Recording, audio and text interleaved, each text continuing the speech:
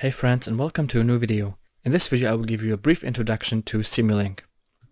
So first of all, what is Simulink? It is a graphical block-oriented MATLAB extension. And with Simulink you can simulate and analyze dynamical systems. So some applications before we jump right into the MATLAB environment and start Simulink. So what you can do is to use Simulink for wireless communication. That means that you can simulate the impact of algorithms and antenna designs on wireless system performance. You can even design hardware-ready IP at high level and automate prototyping and verification. What you can also do is use Simulink for robotics, which is incredibly cool. So you can basically control a robot with algorithms you develop and automatically generate code that you can run on hardware. You can even use it for image recognition, so you can incorporate vision into your robots and you can also model and simulate hardware implementation with TestBench using frame-to-pixel stream conversion for instance. So what we can do in the future, if you're interested in that, which we'll not cover in this video, is to model a bit more complex systems, for instance the predator-prey equation, which is also known as the Lotka-Volterra equation. It would be very interesting to see for you how a dynamic system behaves and how you can implement that with blocks using Simulink. So feel free to vote in the comment section. What we can also do is to model differential equations. As you can remember, in the past I published a video where we implemented a differential equation for a single degree of freedom oscillator and we can use that system and implement it into Simulink. So if you want to see that, feel also free to vote in the comment section and maybe we can find some cool synergy effects. Moving on, so right now we have the demo where I will show you how you open Simulink and how to use it. So hey friends, we are in the MATLAB environment right now and as you can see on the top you can see the Simulink button.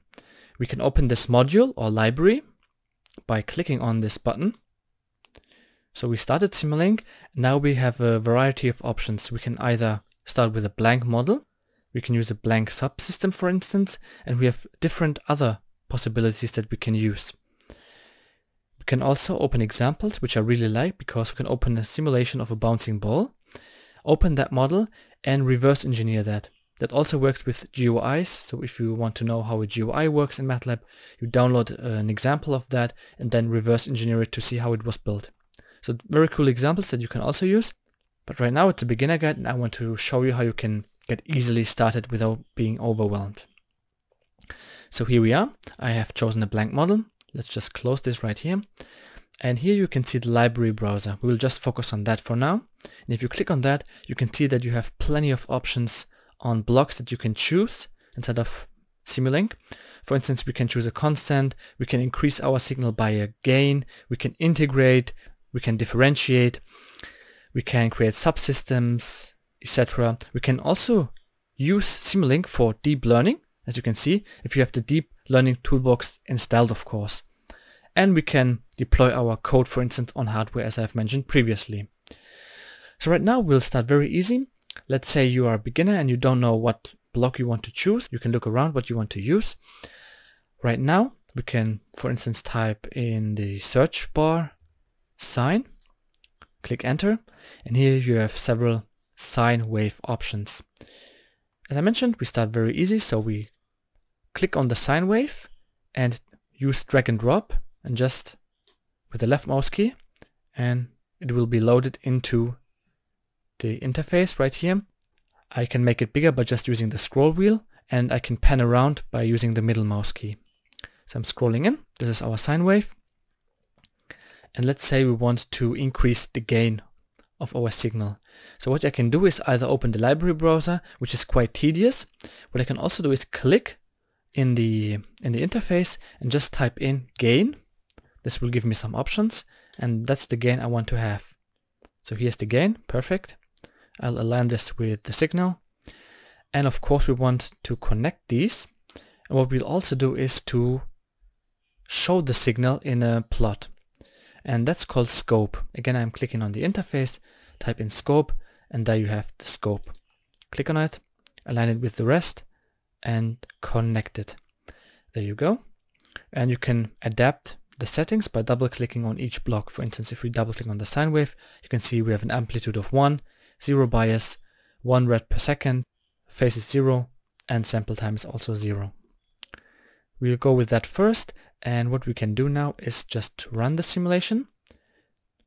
What you can see on the bottom that it's compiling right now. And once it has been finished for 10 seconds, you, you hear the signal and you can double click on the scope.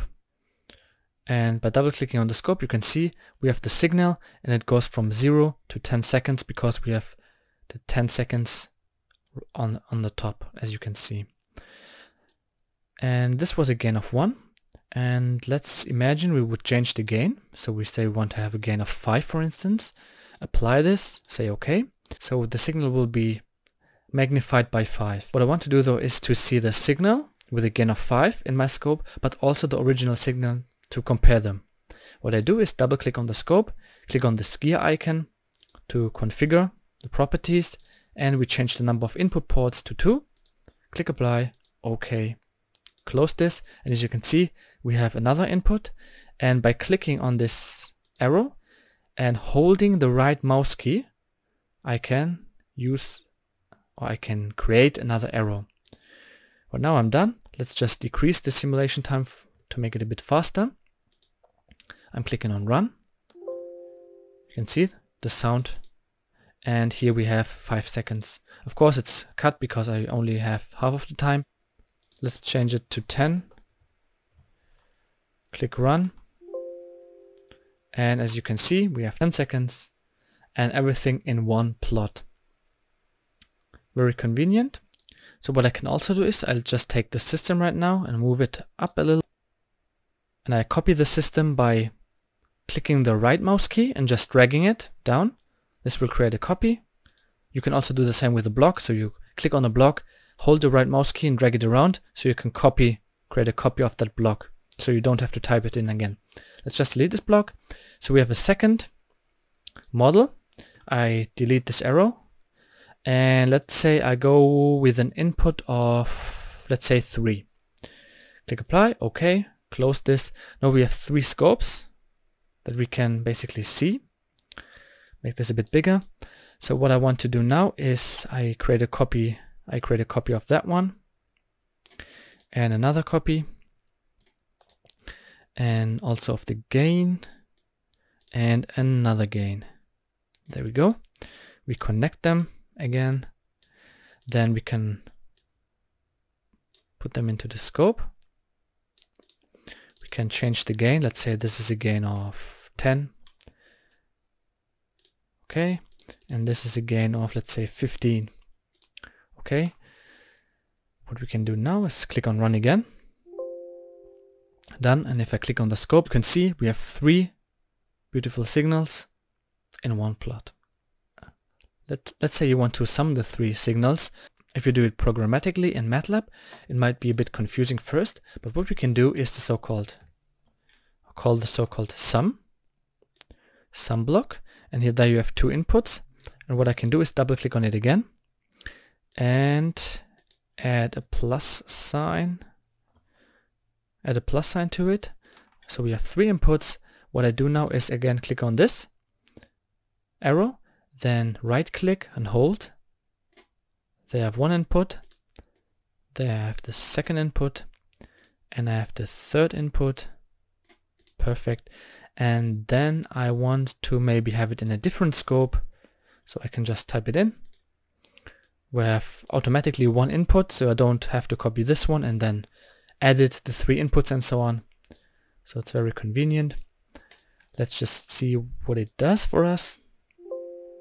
Okay, there we have the three curves as normal. And, and if we add them up, we end up with this curve. The signal that I have is quite boring. And what I want to do is to change my sine waves. So let's keep the first one as it is. And I click on the second one. And what I will do is to change the frequency. Let's say we give it a frequency of 10 for the second sine wave. And we give the third sine wave input, let's say a frequency of 20 rad per second. Click OK. So if you run the whole thing, you can see that by clicking on this signal, we have it like that. So very messy. And if we click on the sum, you can see it's not smooth at all, as you can see. And why is that? And I will show you why that is. So we close this, and if we right click in the interface, you select model configuration parameters. You click on it. What we then do is go to solver, so the first first option on the very top, we open solver details and what we have to adapt is the so-called max step size, which I'll now change to 0.01 let's say. Click OK. And what we then do is to run it again. So we'll, we have chosen another step size and what you can see now, it's very smooth as compared to the last run that we have done.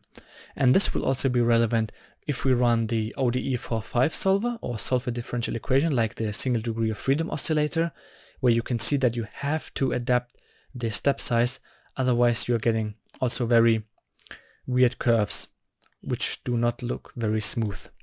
One last cool tip I want to give you is how you can rotate the blocks because sometimes students ask me how do I rotate this blocks because sometimes it can get very messy and you want to rotate maybe a block.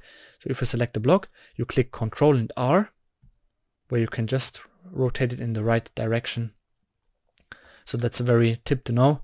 Otherwise you look it up in the internet and click several links and you won't get anywhere. With that being said, thanks a ton for your attention. I hope that you learned a lot in this quick and brief introduction to Simulink. Please, as I mentioned, put down in the comment section what you want to see next. As always, you can download the slides. These slides are for free, downloadable on my Patreon page, so you don't have to pay anything. I'll put the link down in the description. Here are the sources, and please give the video a like, give it a thumbs up, and share it with your friends who might start out with Simulink and who might benefit from the video. As always, make sure to keep engineering your mind, and see you in the next video. Peace!